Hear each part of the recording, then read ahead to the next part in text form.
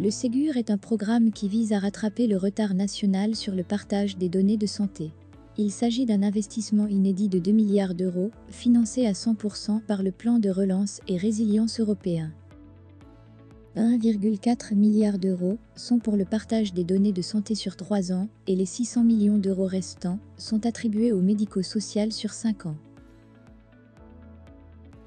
L'ambition du programme est de mieux prévenir, mieux soigner, améliorer l'efficience de notre système de santé et mettre les usagers comme acteurs de leur santé.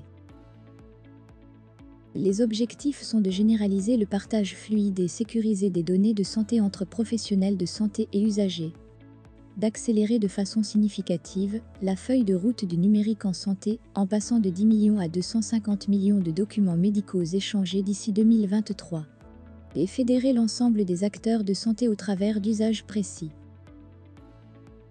Le Ségur accélère le déploiement de quatre services socles.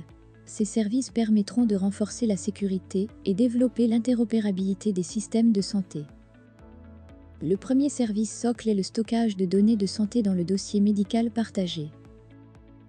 Le second service socle est le référencement de données avec un identifiant national de santé. Le troisième service concerne les échanges via les messageries sécurisées de santé. Enfin, l'identification électronique des acteurs de santé via ProSanté Connect. Le Ségur s'articule autour de six groupes de travail, appelés couloirs. Hôpital, médecin de ville, biologie médicale, radiologie, officine et médico-social. Chacun de ces couloirs possède ses spécificités numériques, organisation, flux de travail, etc. Les acteurs du Ségur sont l'ARS, les GRADES et l'assurance maladie. Ils assurent la sensibilisation et information de l'écosystème, l'accompagnement au déploiement des services socles, l'encouragement aux usages associés, la contribution au renforcement de la cybersécurité, l'accompagnement au déploiement et suivi, la coordination et appui au réseau de l'assurance maladie pour le déploiement et suivi, et les conseils organisationnels au déploiement. Le GRADES agit dans une approche coordonnée pilotée par l'Agence du numérique en santé. Deux dispositifs Ségur ont été mis en place et les établissements de santé peuvent bénéficier de chaque financement indépendamment de l'autre. Le système ouvert et non sélectif, volet logiciel. Ce dispositif s'appuie sur un mécanisme d'achat pour compte où l'État paye directement l'éditeur pour la réalisation de prestations d'équipements logiciels commandés par les acteurs de l'offre de soins.